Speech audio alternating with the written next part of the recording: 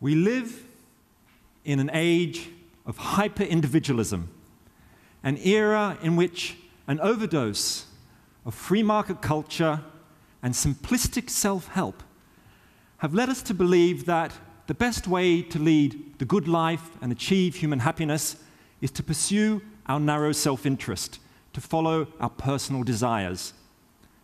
In a way, the question, what's in it for me, has become the leading question of our time. And I believe we urgently need an antidote. And that antidote is empathy. But what is empathy? Empathy is the art of stepping into the shoes of another person and looking at the world from their perspective. It's about understanding the thoughts, the feelings, the ideas, and experiences that make up their view of the world. It's about understanding where another person is really coming from. Now, we all know that empathy makes a difference in our everyday relationships. You've probably had experiences where you've been arguing with your partner or your husband or your wife, and you, you thought to yourself, oh, I wish they just understood my point of view. I wish they understood what I was feeling. What are you asking for there? Empathy, of course, right? But empathy can do more than help in our relationships. Empathy can create radical social change. Empathy, I believe, can create a revolution. Not one of those, you know, old-fashioned revolutions of new laws and institutions, public policies, but a revolution of human relationships. And we urgently need this revolution because of a growing global empathy deficit. In the United States, for example, empathy levels have declined by nearly 50% over the last 40 years. The steepest decline has been in the last 10 years. At the same time, we have worldwide growing social divides. In two thirds of Western countries, the gap between rich and poor is greater today than it was in 1980. At the same time, over a billion people in the world are living on less than a dollar a day. Everywhere we turn, we see the conflicts caused by religious fundamentalism, ethnic tensions, and anti immigrant sentiments.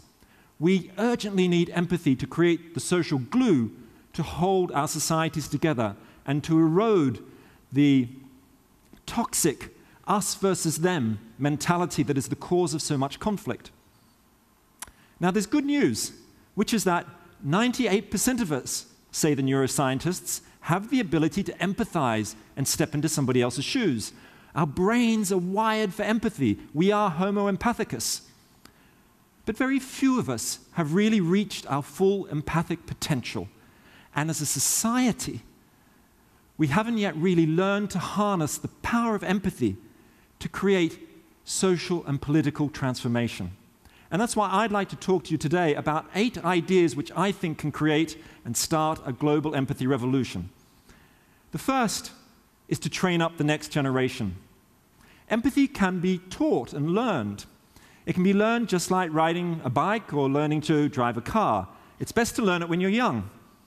The world's greatest program for teaching empathy is the one you can see on the screen here, which is called The Roots of Empathy.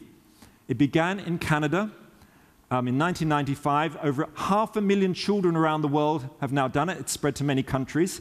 And the unique thing about it is that the teacher is a baby, a real live baby, comes into the classroom every few weeks, the same baby for a whole year, and the children sit around the baby and they start talking about the baby. What's the baby thinking? What's the baby feeling? Why is the baby crying? Why is the baby laughing? They're trying to empathize, step into the shoes of the child and then use that uh, activity to start thinking about empathy on a wider scale. What's it like to be bullied or persecuted in the playground? Roots of Empathy has incredible impact. It increases levels of social cooperation and sharing amongst the pupils. It reduces bullying in the playground. It even increases academic attainment. That's why I think every child should have the right to do programs like Roots of Empathy I hope that my five year old twins get to do it too because they are the next generation of change makers. But we can't wait around 20 years for these change makers to emerge. We need to become more empathic ourselves and lead the empathic revolution as individuals, as adults. That's why we need to develop an ambitious imagination. The latest psychology research tells us that If you mindfully focus on somebody else's feelings and needs, that is, empathize with them, that increases your moral concern with them and can motivate you to take action on their behalves. Now, one of the greatest empathic adventurers in human history, Mahatma Gandhi, pointed out that we need to be rather ambitious about whose shoes we decide to step into. He famously said in a, a quote called Gandhi's Talisman, he said, Whenever you are in doubt, or when the self is too much with you, apply the following test. Recall the face of the poorest man who you may have seen, and ask yourself if the step you contemplate is going to be of any use to him. Then you will find your doubts and yourself melting away. Just imagine if that empathic ma- message was on the desk of every banking titan or media baron, or even on your own. But Gandhi also pointed out that we need to push ourselves even further, that we need to empathize not just with the poor and the powerless, but also step into the shoes of our enemies. Gandhi was a Hindu who said, I am a Muslim and a Hindu and a Christian and a Jew. I think we all need to learn to empathize with our enemies, to increase our levels of tolerance, to make us wiser people, and also to develop smarter strategies of social change.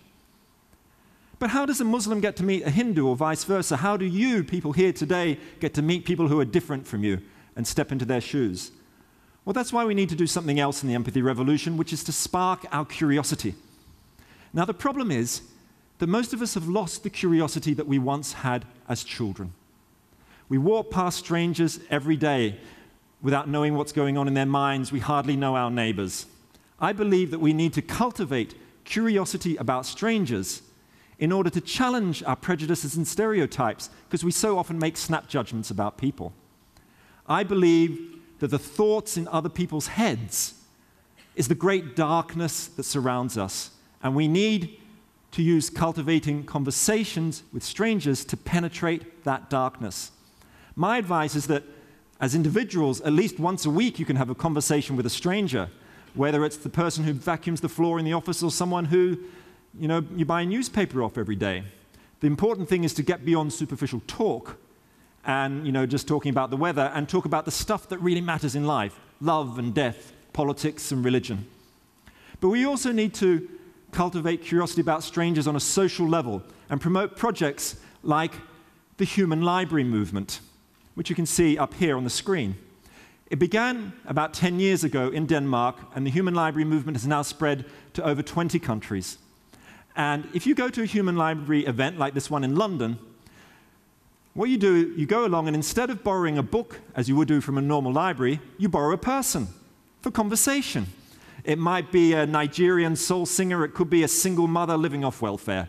The point is to have conversations with people who are different from you, challenge your stereotypes. Just imagine if you organized a human library event in your own community, who would you invite along for members of the public to talk to to spark their curiosity? Now, how do we know that these conversations and encounters between strangers can really make a difference? History tells us so. We need to learn from history. We normally think of empathy as something that happens between individuals, but empathy can also exist on a mass scale, on a collective level. Now, of course, if you look through history, there have been moments of mass empathic collapse. Think of the Holocaust or the Rwandan genocide. But there have equally been moments of, of, mass empathic flowering. One that I think is vital to know about happened in the Second World War during the period of evacuation in Britain.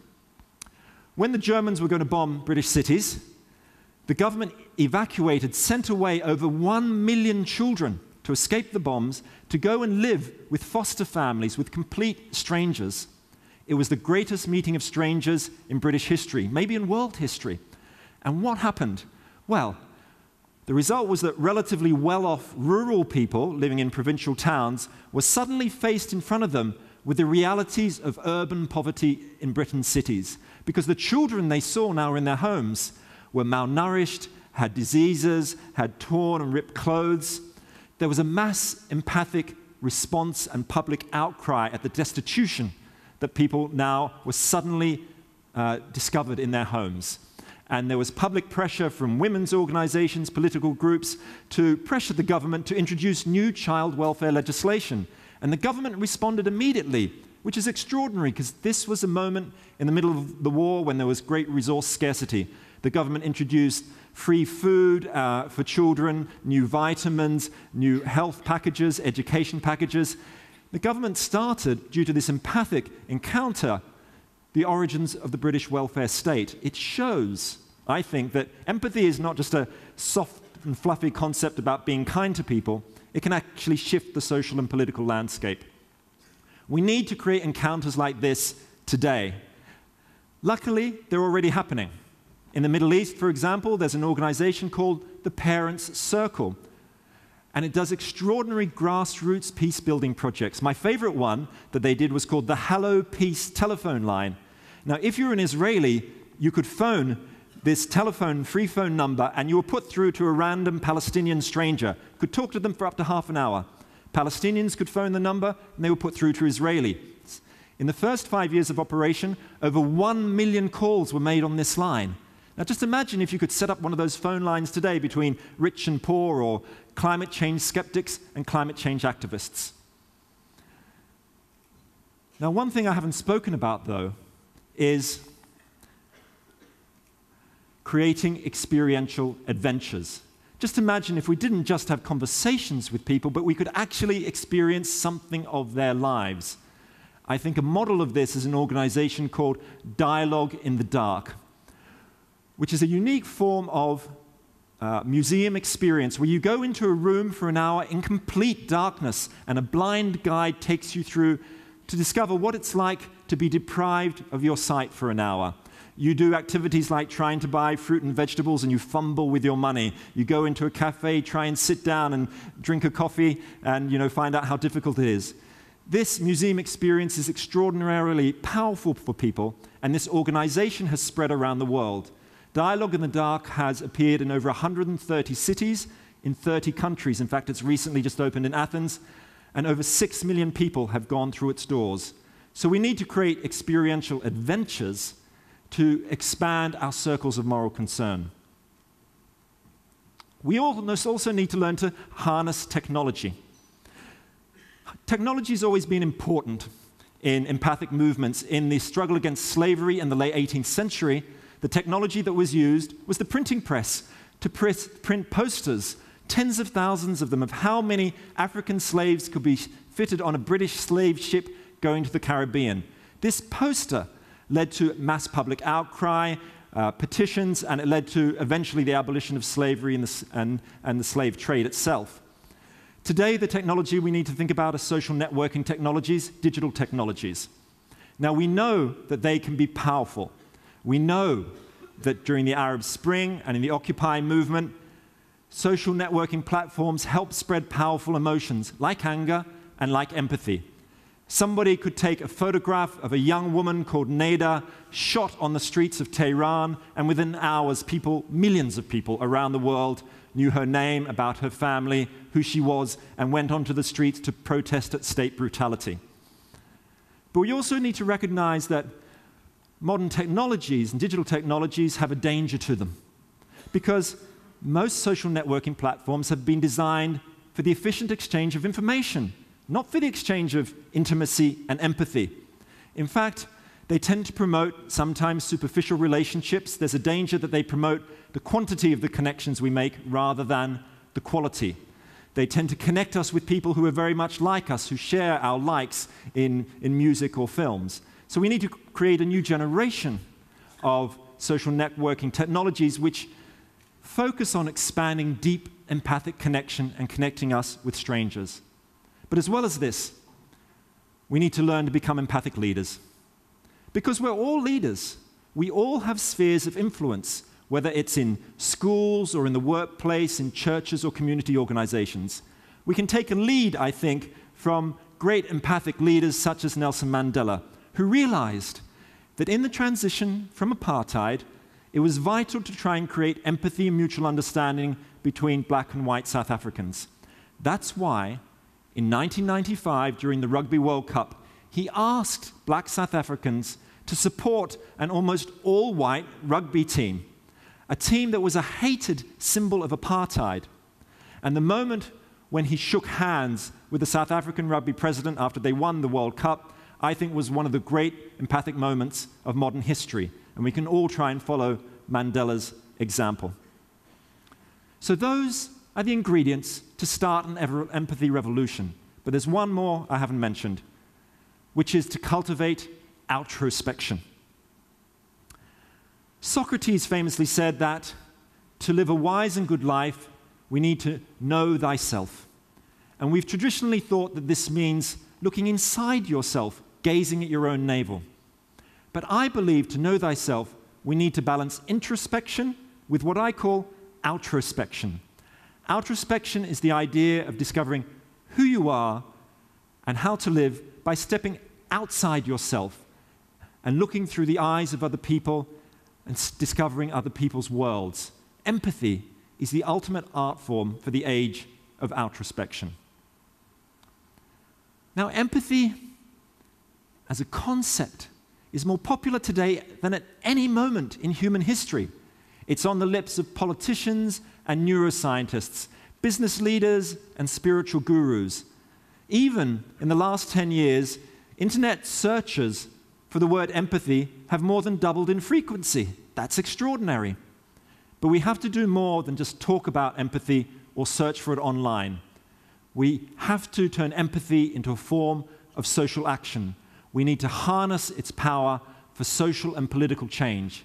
That is the way we're going to create a revolution of human relationships in the 21st century.